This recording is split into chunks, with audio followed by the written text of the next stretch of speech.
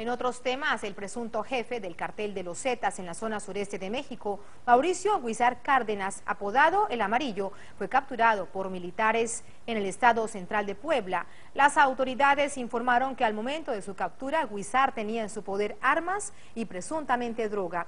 Alias El Amarillo también es acusado del asesinato de cuatro soldados en el estado de Veracruz, realizado el pasado mes de abril. La detención se da la misma semana en que otros cuatro presuntos narcotraficantes fueron arrestados en Puebla.